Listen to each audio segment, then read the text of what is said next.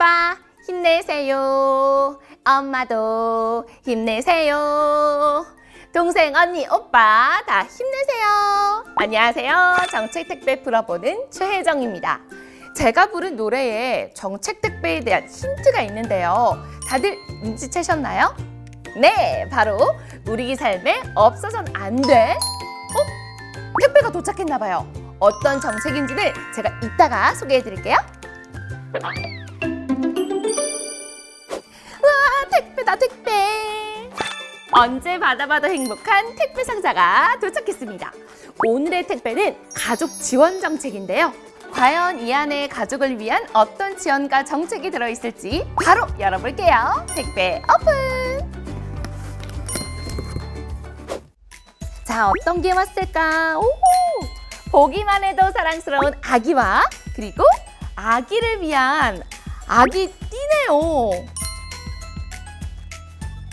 임신과 출산으로 가족 계획을 세우는 분들이 많이 계실 텐데요.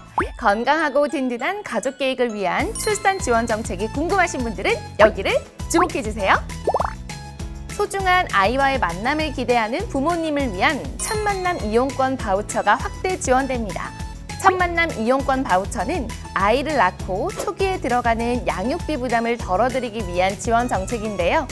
지난해 첫째, 둘째 상관없이 200만 원씩 지급되었던 첫 만남 이용권 바우처가 올해 1월 1일 출생아부터 첫째는 200만 원, 둘째부터 그러니까 둘째, 셋째, 넷째 쭉 300만 원으로 첫째보다 100만 원을 더 지원해 준다고 합니다. 신청은 주소지 읍면동 행정복지센터를 직접 방문하거나 복지로 정부24 홈페이지에서 하시면 됩니다. 첫 만남 이용권 바우처는 국민 행복카드 포인트로 지급되는데요.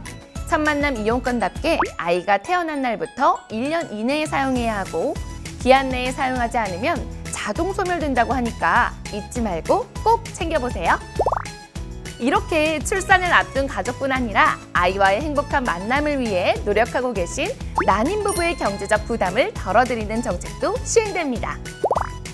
전국 어디서나 소득과 상관없이 난임 부부 시술비 지원을 받을 수 있습니다. 기존에는 난임 부부 시술비가 서울, 부산 등 일부 지역을 제외한 지역에서는 기준 중위소득 180% 이하인 가정에만 지원됐는데요. 올해 1월부터는 이 소득 기준이 폐지되어 소득과 상관없이 난임 부부 시술비 지원을 받을 수 있습니다. 또 4월부터는 가입력 보존 목적으로 냉동한 난자를 실제 임신을 위해 사용하는 경우 보조 생식술 비용도 일부 지원한다고 하니까요. 가족 계획 세우실 때 참고해 주세요. 그리고 고위험 임산부에 대한 의료비 지원과 미수가, 선천성 이상아에 대한 의료비에서도 소득 기준이 폐지돼 더 많은 임산부와 아이들이 지원을 받을 수 있게 되었는데요. 특히 선천성 이상아에 대한 의료비 지원의 경우 기한이 기존 1년 4개월에서 2년으로 확대되고 그 이후라도 의사소견 시 예외기간을 인정해준다고 합니다. 한 아이를 키우기 위해서는 온 마을이 필요하다는 말도 있죠. 이제는 온 나라가 함께 경제적 부담을 해결해드리고 여러 가지 어려움도 극복할 수 있도록 도와드릴게요. 자, 그럼 다음 택배 상자 열어볼까요? 오! 육아 필수품인 기저귀, 그리고 젖병, 분유네요.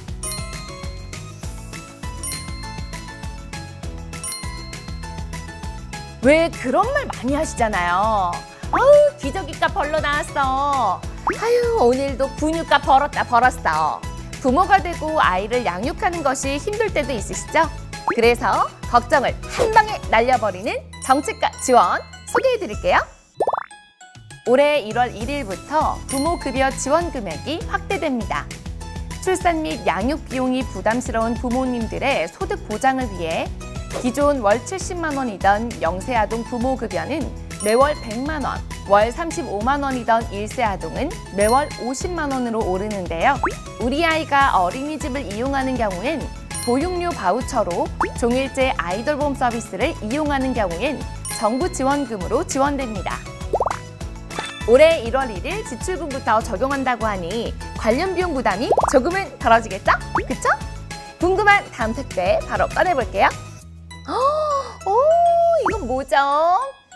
음, 향긋한 커피 향이 나는 걸 보니 이 여유로움의 상징 따뜻한 라떼? 어? 근데 이 라떼를 보니까요 떠오르는 게 있습니다. 바로 라떼 파파. 다들 들어보셨나요? 스웨덴에서 유래된 라떼 파파는 한 손에는 커피를 다른 한 손엔 유모차 손잡이를 잡은 육아에 적극적인 아빠들을 일컫는 말인데요. 사실 우리나라는 아직 엄마도 아빠도 육아휴직을 당당하게 쓰기에는 눈치가 보이기도 하고 일을 쉬면 가게에 부담이 생기고 아, 한숨이 절로 나오죠. 이제 한숨은 그만! 육아휴직 동안 부담 조금이라도 덜 수 있게 육아휴직 수당의 비과세 적용 대상을 확대합니다. 기존에는 고용보험법에 따라 육아휴직급여, 공무원 또는 사립학교 교직원 연금법, 별정 우체국법을 적용받는 사람이 관련 법령에 따라 받는 육아휴직 수당에만 비과세가 적용되었는데요. 올해부터는 사립학교 직원이 사립학교 정관 등에 의해 지급받는 육아휴직 수당도 비과세 적용 대상에 포함됩니다. 육아휴직 수당 비과세 적용 대상 확대로 우리 가족의 경제적 안전성을 갖추고 다양한 업종에 종사하는 부모님들에게 정말 좋은 변화를 불러올 것 같네요. 다음은 어떤 택배가 기다리고 있을까요? 우와! 장난감 블록이네요. 우리 아이들을 돌보려면 여러 가지 프로그램으로 재미있는 시간을 보내야 하잖아요. 그래서 올해부터 아이돌봄 서비스 지원 가구에 대한 정부 지원 비율을 확대합니다. 지원 가구도 작년 8만 5천 가구에서 올해 11만 가구로 대폭 확대됩니다.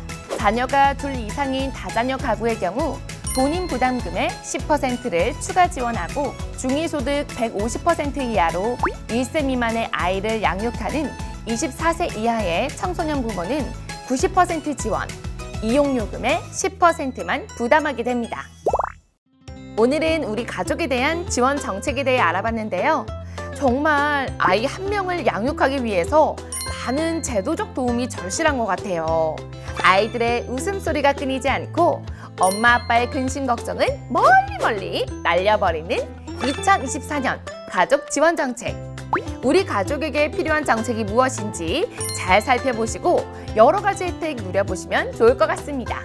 그럼 여러분 다음 시간에 또 만나요. 안녕!